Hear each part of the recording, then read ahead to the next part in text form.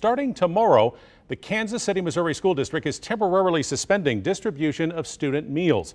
One child nutrition staff member has a presumed positive case of COVID-19. The district says it'll work with public health officials on when it is safe to hand out meals again. For now, the district is encouraging families to go to Harvesters or to a local food pantry.